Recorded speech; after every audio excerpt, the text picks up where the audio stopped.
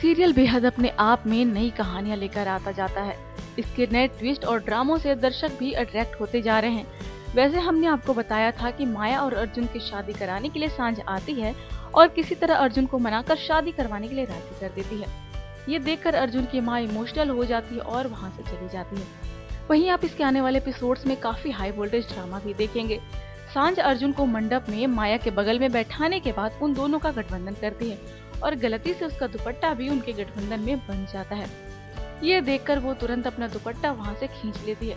इसके बाद अर्जुन को साँझ के लिए प्यार वाली फीलिंग आने लगती है और वो वही मंडप में उसे प्रपोज कर देता है।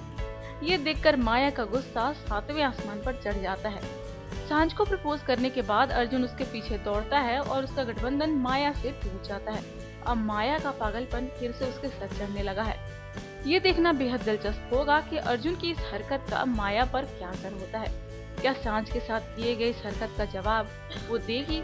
और अगर देगी भी तो कैसे? टीवी दुनिया की और खबरों के लिए सब्सक्राइब करें टॉप न्यूज़ टॉप न्यूज़ से